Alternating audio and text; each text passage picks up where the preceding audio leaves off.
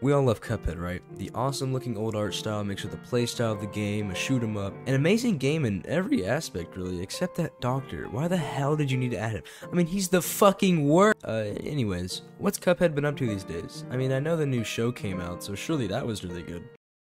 One star. Jesus fucking Christ, he ever cooked. This shit doesn't even fit my full screen. Look, look at this review. Oh no, Satan was in the show. Yeah, no fucking shit, Karen. What did, what did you expect? Enough making fun of people's reviews, and now time for me to make my review and probably have people make fun of it. YouTube, baby, what can I say? It's just it's just how it works here. Now, before the show even came out, many fans were hyped, even including me. I had my Lou ready to go for this shit. But all seriousness, I was hyped. I mean, I remember calling my friend, telling him about it even. We were both shitting over the new Cuphead show coming soon, and we were so excited. I remember reading Twitter. I know, I know, sh- shame on me but I was scrolling and my eyes widened when I saw the King Dice clip. I think that's the day I lost my virginity. I was sitting in awe like, wow, this is really happening. An amazing moment for most, I think. Not only me, of course, but many others as well. Now, of course, everyone loved the storyline of the game and the game itself, and if you didn't, you get murdered in cold fucking blood. The fan base was incredible, and it was ready to finally watch the Cuphead show. S- some of the fan base was was doing other stuff. Those those things we don't mess with. In all honesty, I'm still excited for future seasons. Wait, there's three seasons and a fourth one soon?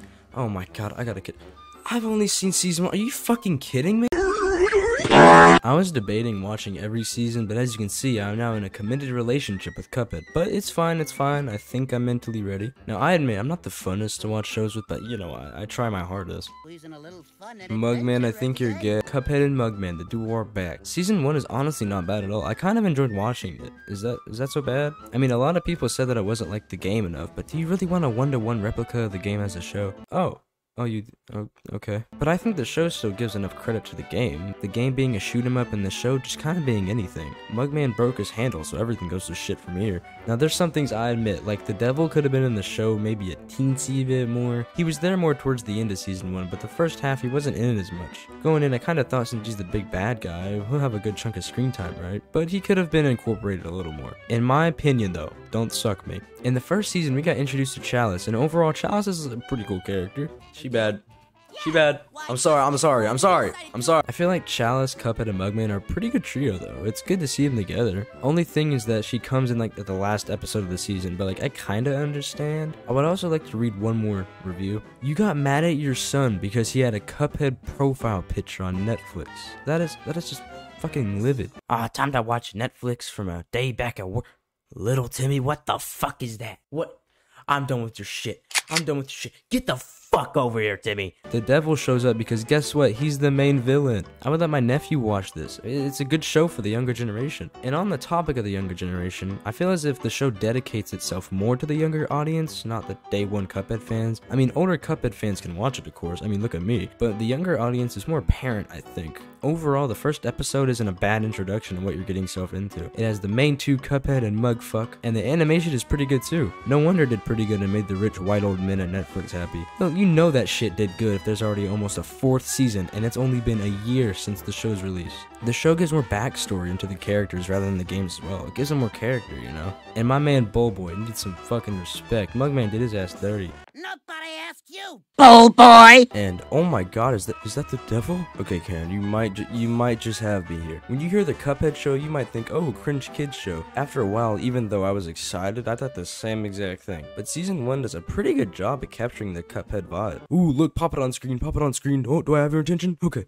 Cool. Now let's go over the best episode. My favorite episode of season one was by far Ghosting Real. Not only do I feel as if it's the best driven episode, but it's also like the best animated. Like, look at this shit. It looks awesome. I have to admit, this looks better than my imaginary girlfriend.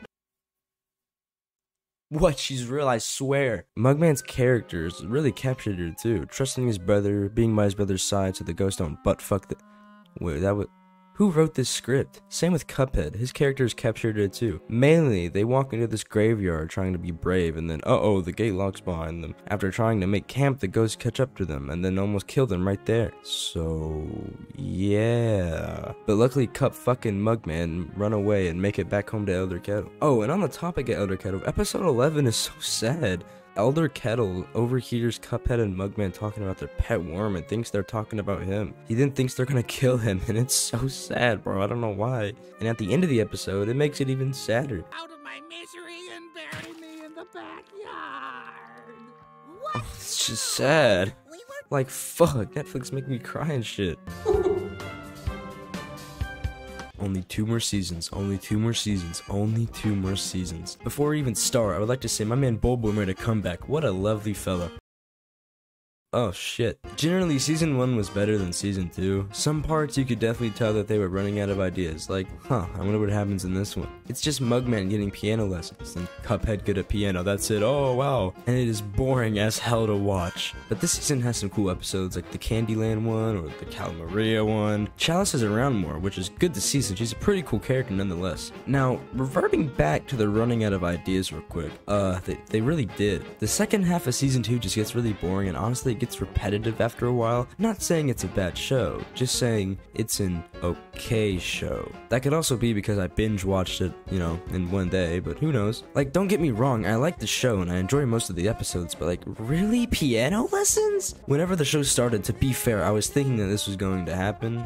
I, I kept my hopes too high. I think they should have included the devil more, or Chalice a little more too, because all the while Cuphead and Mugass are the two main characters. There's some variety in there every now and then. Chalice and the devil are in the show, but it's usually at the start or end of the season. The middle of the season is like a war zone of fucking boring ideas. My favorite episode has to be the one with Cala Maria, aka my wife. Not only is it filled with a pretty good amount of action, but overall it's funny as well. And you know, Cala Maria. Oh yeah, and Captain Brineybeard is in too. Trying to take my fucking wife, dude. Uncool. Uncool, man. Cuphead and Mugman steal a boat, or quote unquote steal a boat. Brineybeard appears and they shit their pants. But Mugman comes with a solution. They help Brineybeard make Cala Maria his girlfriend, and then he takes them home. Easy peasy. But little do they know that Cala Maria is a bad bitch. God dang. Cala Maria turns Brineybeard into stone, and eventually he turns back, and they live happily ever after.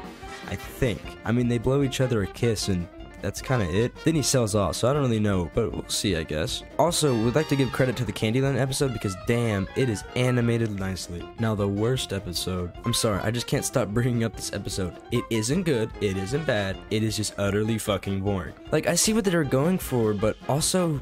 No. Out of all things, piano lessons. Why don't we make an episode about fucking paint drawing then? You know, I don't mind this actually. Oh yeah, by the way, Mugman gets captured by the devil and almost dies. Sorry.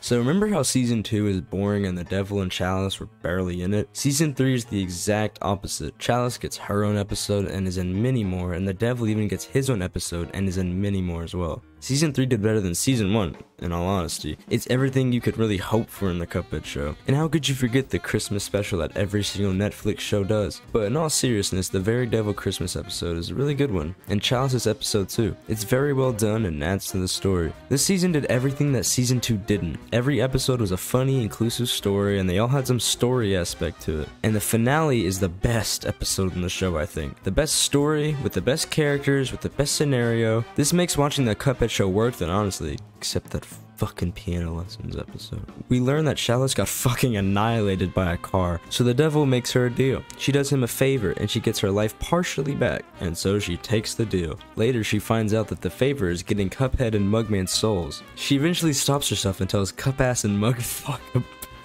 I can't.